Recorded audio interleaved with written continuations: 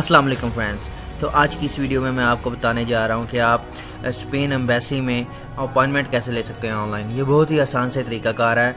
चाहे आप इंडियन हैं, पाकिस्तानी हैं, इन दोनों में थोड़ा सा बिल्कुल डिफरेंट है। तो दोनों का मैं इस वीडियो में मैं बता दूँगा कि अगर आप इंडियन हैं तो आपने कैसे अपॉइंटमेंट लेनी है स्पेन एम्बेसी में? और अगर आप पाकिस्तानी हैं तो आपने किस तरह से अपॉइंटमेंट लेनी है? तो चलिए मैं सबसे पहले पाकिस्तानी का बताता हूँ। अगर आप पाकिस्तानी हैं तो आप किस वेबसाइट पर जाकर और किस तरह से अपॉइंटमेंट ले सकते हैं। आपको एक मैं लिंक डाल दूँगा। उस लिंक को क्लिक कर लेना है। ठीक है। इसे क्लिक करने के बाद आप यहाँ पर देख सकते हैं कि यहाँ पर एक टैब बनी आ रही है। यहाँ पर वीज़ा टाइप लिखी आ रही है कि आप शॉर्ट टर्म वीज़ा अप्लाई करना चाह रहे हैं, बिज़नेस आई हैं, जो भी आपका फैमिली होगा, वो आप यहाँ पर चेक कर सकते हैं। अगर आपने सिर्फ़ अपॉइंटमेंट ही लेनी है तो आप यहाँ पर बुक एंड अपॉइंटमेंट को क्लिक कर लें। यहाँ पर बुक योर अपॉइंटमेंट ठीक है? इसे क्लिक कर दें या फिर स्क्रॉल डाउन करेंगे। यहाँ पर ये भी, यहाँ पर भी लिखा रहा है बुक योर अपॉइंटमेंट तो आपको इसे क्लिक कर लेना है। क्लिक करने के बाद आपके पास कुछ इस तरह से सामने शो होगा। यहाँ पर आपने अच्छी से डिटेल्स पढ़ लेनी है। आप इंडिविजुअल हैं, या फैमिली के लिए अपॉइंटमेंट लेना चाह रहे हैं, जो भी होगा आपको यहाँ पर सेलेक्ट कर लेना। मैं इंडिविजुअल को ही सिलेक्ट किए रखता हूँ। सेलेक्ट योर सेंटर यहाँ पर लिखा आ रहा है कि आप में अगर पाकिस्तान में जो भी तीन सेंटर दिए गए हैं यहाँ पर, कराची का, लाहौर का या इस्लामाबाद का, जो भी आपको नज़दीक तरीन पड़ता है, आपको वो सेंटर सेलेक्ट कर लेना है। मैं इस्लामाबाद को सिलेक्ट करता हूँ। यहाँ पर आपको अपना फ़ोन नंबर डाल देना है। यहाँ पर आपको अपना ईमेल एड्रेस डाल देना है।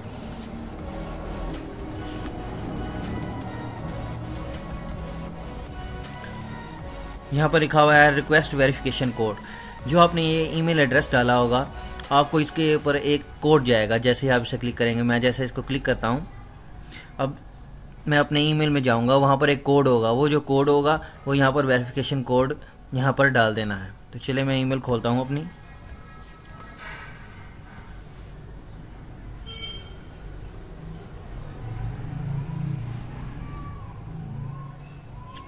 यहाँ पर आप पढ़ सकते हैं ऊपर info dot I S B ये ईमेल वेरिफिकेशन के लिए आई है। कंफर्मेशन यहाँ पर कर लेनी है कि इसका कोड क्या है। यहाँ पर देख सकते हैं verification code at seven double at दिया आ रहा है। तो मैं यहाँ पर वो कोड डालूँगा। उसके बाद कंटिन्यू कर लेना है आपको।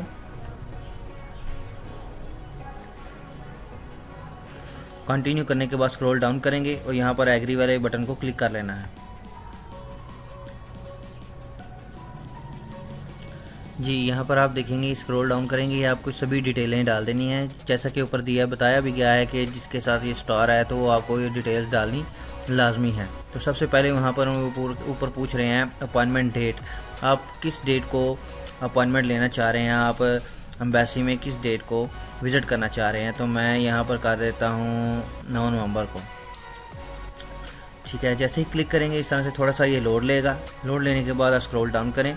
यहाँ पर आपको अपॉइंटमेंट टाइम भी सिलेक्ट कर लेना है कि किस टाइम आप अम्बेसी में पहुँच पाएँगे। बारह, एक, दो, जो भी आपको टाइम सूट कर रहा होगा, आपने उसे सिलेक्ट कर लेना है। उसके बाद वीज़ा टाइप यहाँ पर आपको सिलेक्ट करना है कि आप जो वीज़ा अप्लाई करना चाह रहे हैं, वो किस से रिलेटेड है? बिज़नेस, मेडिकल, टूरिज़म के हवाले से जो भी होगा, आपको यहाँ पर अपना सेलेक्ट कर लेना है। स्टडी वीज़ा है तो स्टडी भी यहाँ ही से सिलेक्ट होगा। तो मैं टूरिज़म को क्लिक करता हूँ। यहाँ पर फ़र्स्ट नेम डाल देना है। नीचे लास्ट नेम डालेंगे। यहाँ पर आपको डेट ऑफ़ बर्थ डालनी है, आपकी जो भी होगी। डिटेलें आप बिल्कुल ठीक डालेंगे, नहीं तो आपको वैसे में प्रॉब्लम हो सकती है। उसके बाद यहाँ पर फ़ोन नंबर मेरा ऑटोमेटिक लिखा आ गया है नेशनैलिटी आ गई है। पासपोर्ट टाइप ऑर्डिनरी पासपोर्ट लिखा आ गया है। ठीक है, यहाँ पर पासपोर्ट नंबर आपको डाल देना है। यहाँ पर पासपोर्ट इशू कौन सा आ रहा है? ये पासपोर्ट की इशू डेट भी पासपोर्ट के ऊपर आप जब देखेंगे तस्वीर वाले पेज पर, फ़र्स्ट पेज पर, वहाँ पर आपको पासपोर्ट इशू डेट भी लिखी हुई होगी। वहाँ से आप चेक कर लें कि आपके पासपोर्ट की इशू डेट क्या है। और उसी के बिल्कुल एन नीचे देखेंगे तो पासपोर्ट एक्सपायरी डेट भी लिखी होगी। तो आपको यहाँ पर अपनी पासपोर्ट की एक्सपायरी डेट भी डाल लेनी है। यहाँ पर लिखा रहा है पासपोर्ट इशू प्लेस, कि पासपोर्ट आपका कहाँ से इशू हुआ? तो आपको ये भी डाल देना है ये भी पासपोर्ट के ऊपर लिखा होगा। उसके बाद यहाँ पर ये कैप्चा कोड डाल देना है, जैसा लिखा है सेम ऐसा ही डालना है।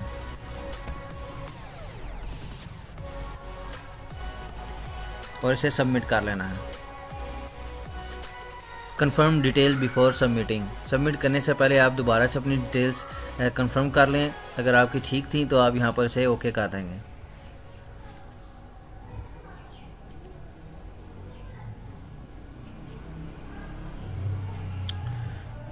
जी जी फ्रेंड्स यहाँ पर आप देख सकते हैं कि यहाँ पर एप्लीकेशन नेम भी आ गया एप्लीकेंट नेम आ गया है रेफरेंस नंबर यहाँ पर लिखा आ रहा है पासपोर्ट नंबर लिखा आ रहा है अपॉइंटमेंट डेट और टाइम लिखी आ रहा है और वीज़ा कैटेगरी क्या थी वो भी यहाँ पर लिखी आ रही है।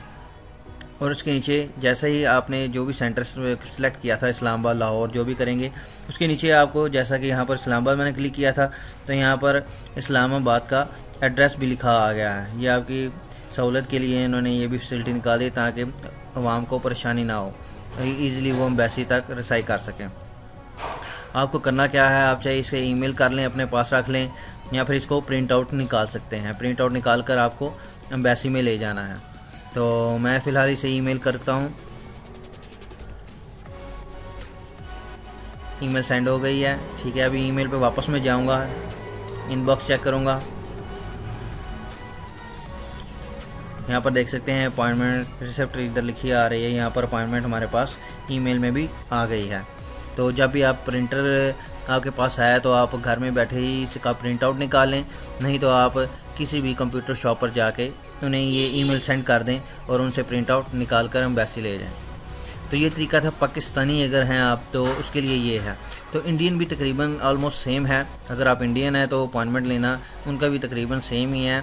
बस थोड़ा सा इसके अंदर डिफरेंट क्या होगा वो मैं आपको बता देता हूँ। तो यहाँ पर आपको वेबसाइट डालनी है इंडियन है अगर आप तो। सेम तकरीबन देख सकते हैं कि सेम वही वेबसाइट है, बस यहाँ पर इंडियन फ्लैग आ गया है। ये इसके जो यू आर एल है, इसमें सिर्फ़ इंडिया पीछे लिखा आ गया पाक की जगह। तो इसकी भी अपॉइंटमेंट उसी तरीके से ही लेनी है। बस इसमें एक आध चीज़ों से यहाँ पर आपको नज़र आ रहा होगा कि ये डिफरेंट उन्होंने दी हुई है। उसी तरह इंडिविजुअल या फैमिली सेलेक्ट करेंगे। यहाँ पर पासवर्ड इशू कहाँ से हुआ, ये सिलेक्ट करना होगा। मैं गुजरात कर देता हूँ। ठीक है, उसके बाद सेलेक्ट करंट रेजिडेंस ठीक है, वो भी यहाँ पर सेलेक्ट कर लेना है आपको। ड्यूरेशन ऑफ़ स्टे यहाँ पर पूछ रहा है कि मैंने ये गुजरात का अगर लिखा है तो वो पूछ रहे हैं कि आपको यहाँ पर रहते छः महीने से ज़्यादा हो गए हैं छः महीने से कम हो गए तो ये भी आपको सिलेक्ट कर लेना है। उसके बाद सेलेक्ट योर सेंटर सेलेक्ट करना है। यहाँ पर आपको मुंबई, चेन्नई जो भी आप सेलेक्ट करना चाहें, वो सिलेक्ट कर सकते हैं। यहाँ पर आपको फ़ोन नंबर डाल देना है।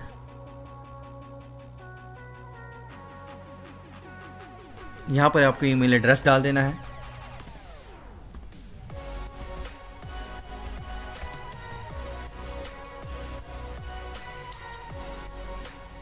और यहाँ पर उसी तरह से वेरिफिकेशन कोड के लिए सेंड कर देना है।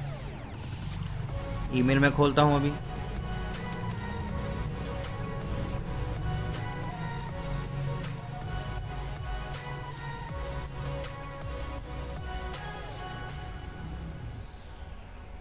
जी, यहाँ पर देख सकते हैं कि स्पेन की ये भी ईमेल आ चुकी है। यही कोड आपको डालना है, जो इसमें लिखा आ रहा होगा। वन फाइव डबल वन यहाँ पर आ रहा है तो यहाँ पर डाल देंगे आप इसी तरह से।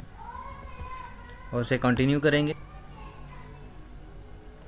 उसी तरह से स्क्रॉल डाउन कर कर यहाँ पर एग्री कर लेंगे इसे। सारी डिटेल्स दोबारा से डाल देंगे, जैसे मैंने पीछे पाकिस्तानियों के लिए डाली, वैसे ही यहाँ पर इंडियन के लिए भी सेम एज टू एज है। यहाँ पर डेट सेलेक्ट कर लेनी है। यहाँ पर टाइम सेलेक्ट कर लेना है। वीज़ा टाइप सेलेक्ट कर लेना है। उसी तरह ही फ़र्स्ट नेम डालना है।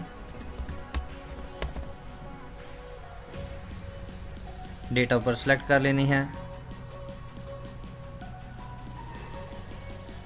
फ़ोन नंबर डाला हुआ ऑटोमेटिक डाल जाएगा, जो आप पीछे डालेंगे। ठीक है? यहाँ पर पासपोर्ट नंबर डाल देना है आपको। Passport issue date. पासपोर्ट की एक्सपायरी डेट। और यहाँ पर उसी तरह कैप्चा डाल देना है।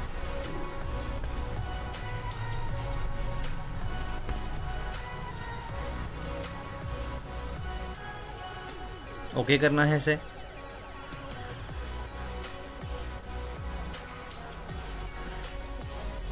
यहाँ पर अगर आप नो एस एम एस के थ्रू नोटिफिकेशन मंगवाना चाहते हैं तो आप इसे क्लिक कर लेंगे। बाकी आप ये डिटेलें पढ़ लें। कोई भी आपको चीज़ की ज़रूरत हो तो आप इसे टिक कर सकते हैं। इसके नीचे उन्होंने अमाउंट भी दी हुई है कि इस, इसकी क्या क्या अमाउंट होगी, क्या चार्ज करेंगे। अगर आपको इनमें से किसी चीज़ की फैसिलिटी नहीं चाहिए तो आप सीधा सबमिट कर देंगे इसे। ठीक है, आप यहाँ पर देख सकते हैं कि आपकी इंडियन अपॉइंटमेंट भी इस तरह से हो जाएगी बसानी इसमें कोई भी किसी किस्म की दिक्कत महसूस नहीं होगी आपको। ये बहुत ही सिंपल सा तरीकाकार है। उसी तरह से आप प्रिंट आउट निकाल लेंगे या ईमेल करना चाहें तो आप अपने पास ईमेल भी रख सकते हैं। आई होप कि आपको ये वीडियो पसंद आई होगी। इस वीडियो को लाइक ज़रूर कीजिएगा। शुक्रिया।